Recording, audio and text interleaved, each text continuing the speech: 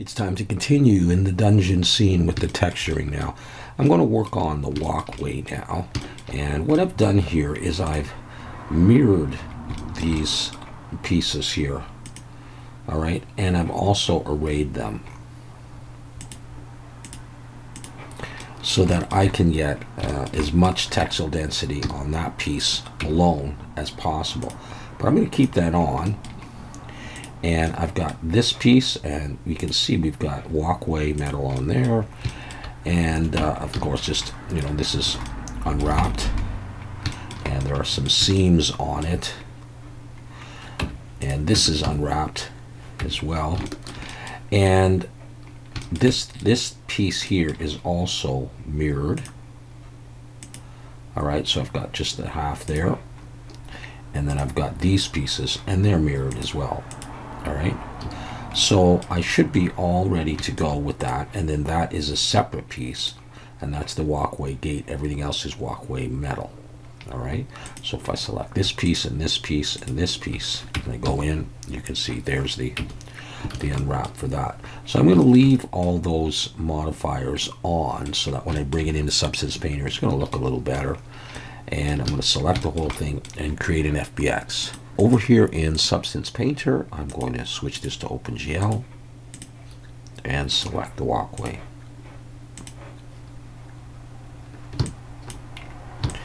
And here it is. A little bit hard to see these pieces, but they're in there. We've got the two textures there, two texture sets or two materials. And I'll bake the mesh maps.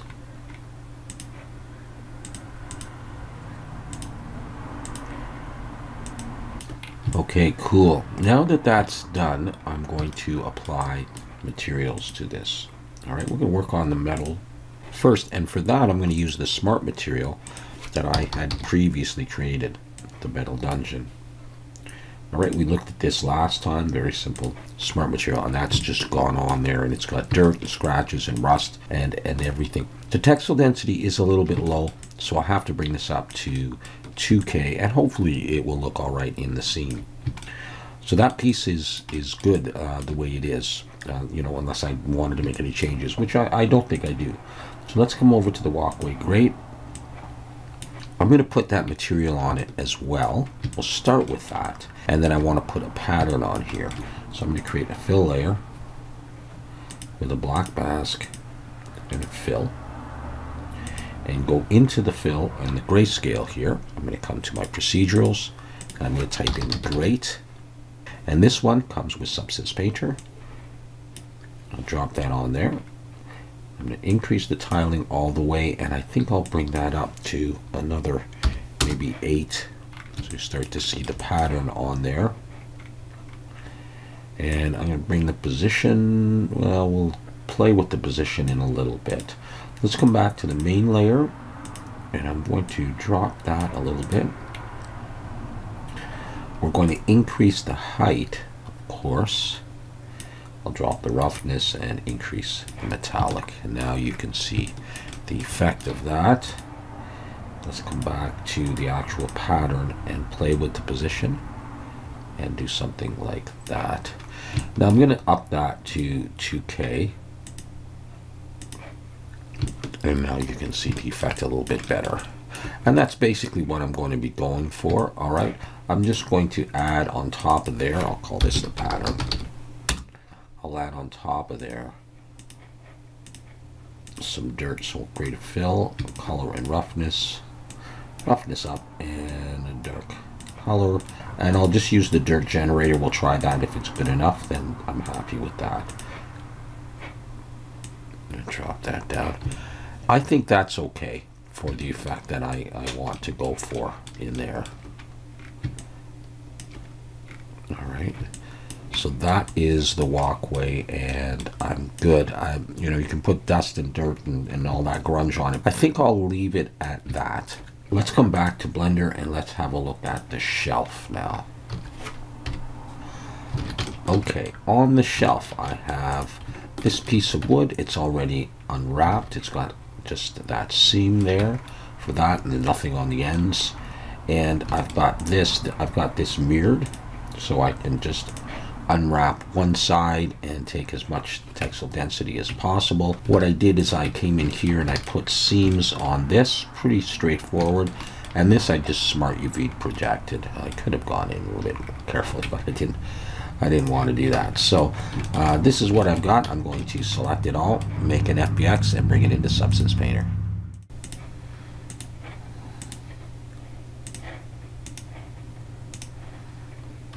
All right, there it is. Two materials, two texture sets. So bake the mesh maps at 2K. So on this metal here, smart materials, the dungeon smart material. And that comes in looking pretty good. It's even got some scratches on there, uh, which you really won't see unless you zoomed right in. So I'll just have them there. They may catch a little bit of light. So that's fine for the metal. And we'll come over to the wood and smart materials wood. This one here. And the grain is running the right way, so that's great. So all I want to do here is, let's see, we of course are, we're going to add some dirt. Maybe we'll do a roughness variation. I don't, I don't even know that I need a color variation, but I might think about that. Maybe I'll just do color. And, uh, Actually, I'll do a black mask and a fill and come back here. And maybe we'll look for a grunge.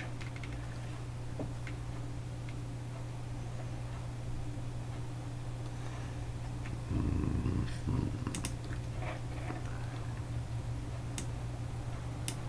Let's see what triplanar looks like.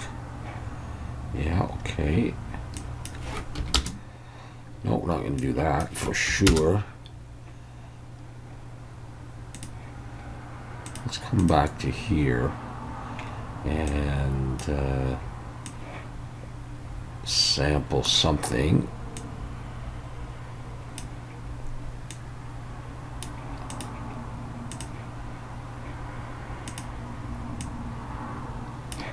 All right, and we could do a we could do a couple of those if we wanted to. Maybe yeah, let's just do another one. Okay, call var one.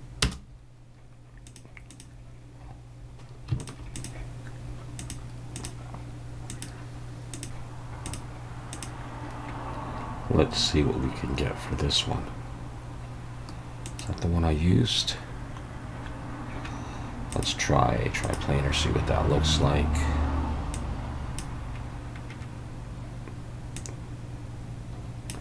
Just a couple of spots like that. Let's see. If I do that,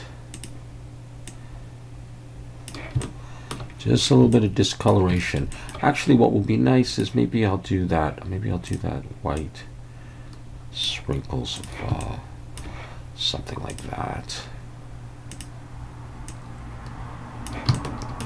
Yeah, just a little bit of dust or whatever on there. Um, all right, uh, I'll call that dust instead of color variation. Uh, we could do a roughness variation, mind you. So maybe I'll do one more and roughness, bring that down. So it's quite shiny there, just to start it at that position. And uh, not that a lot of black mask and maybe we'll try a different uh, technique. Let's use smart mask. Let's use dust maybe for this one. Let's see. I'm not sure there's going to be anything. Now I think we pretty much have to use a grunge. Let's come over here this time. And I guess I will add a fill.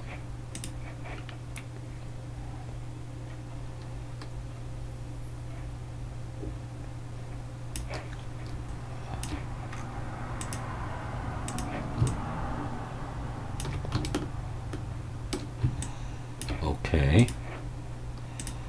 Let's take this and have less of an effect there. Actually, what I want to do instead of that is I want to bring the roughness up there. And just have something like that there. All right, but we are going to put some dirt on. This is going to be roughness variation. Uh, another fill layer color and roughness in the usual way that I make dirt, or we could use a smart mask. We could try that instead. We'll a black mask. Maybe we will try a smart mask. And I'll type in dirt. And we'll see what there is. What's this dirt dry leak? No, not really. Dirt soft edges.